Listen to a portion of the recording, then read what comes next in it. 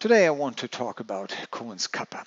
Cohen's kappa is a statistical measure of inter-rater agreement, of the agreement between two raters for categorical items. Now what does that mean? Let's suppose we have a bunch of people here and two raters have to find out whether each individual in this group is able to perform his job or not. So the rater here can be a doctor, uh, for example, or a psychologist or an instructor.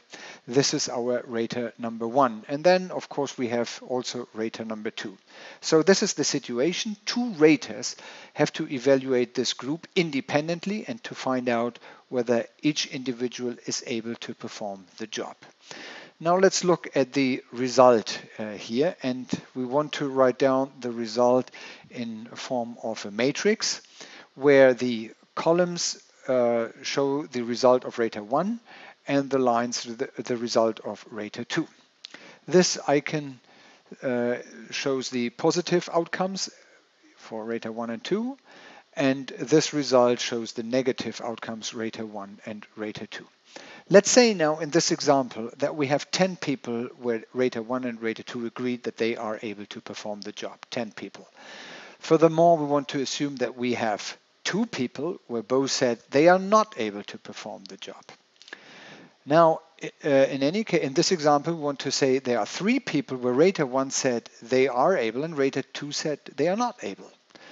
And uh, also we have four people in this example where rater 1 said not able and rater 2 said they are able. Now there's a total of 13 where rater 1 said they are able and there is a total of uh, five where of, of, six excuse me of six people where rater 1 said they are not able. The total for rater 2 is 14 where he said they are able and the total is 5 where rater 2 said not able. So the total at all is 19 here. Now the question is, what would be a first approach uh, to measure the observed agreement intuitively? We would take these numbers because they agreed on 10 and they agreed on 2 out of 19. So the uh, formula to compute the observed agreement is 10 plus 2 over 19, which is 0.63. However, there's a problem with this because there's always the probability of random agreement and Cohen's kappa wants to take the uh, agreement by chance out of the equation. So we have to compute the agreement of chance first and to subtract that. So the agreement of chance that they both agree positive is 13 over 19 times 14 over 19 because in 13 cases rater 1 said yes, and in 14 cases, rater 2 said yes.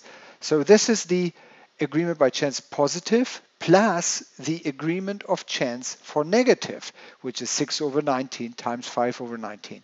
So the agreement by chance is already 0.58, which is impressive because that means that in more 50% of the cases, the agreement just happened by chance.